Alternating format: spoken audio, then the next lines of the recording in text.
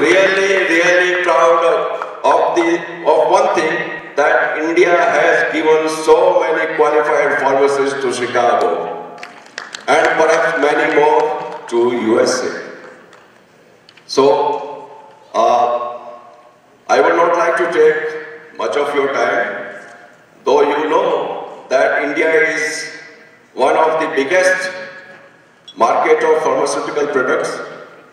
It's number three volume-wise in the world and number 13th by value. And it's going to be a $20 billion pharmaceutical industry by 2020 in India.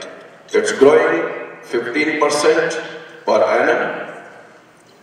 While the other markets, you know, in other countries, they are growing by 5% only annually.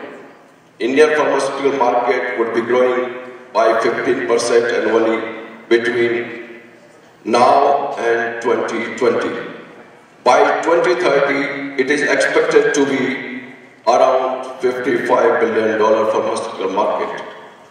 Our engineers, our pharmaceuticals, they are really working hard to give world, to give the entire world world-class pharmaceutical products.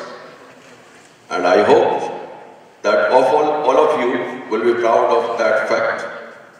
One thing more, perhaps you would be aware of that, Government of India last year had decided, it had uh, last year opened the pharmaceutical uh, you know, sector for 100% FDI by automatic route for production of medical devices in India. So many of you, those who are, who are interested to set up industry in India, an industry in India for production of medical devices, they can take advantage of 100% FDI which is being given in the uh, medical devices industry in India.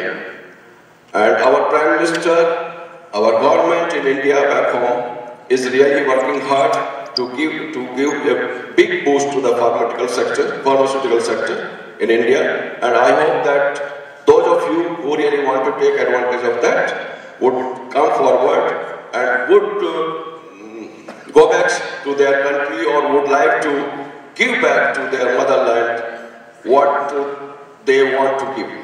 Thank you so much and have a great evening. Thank you.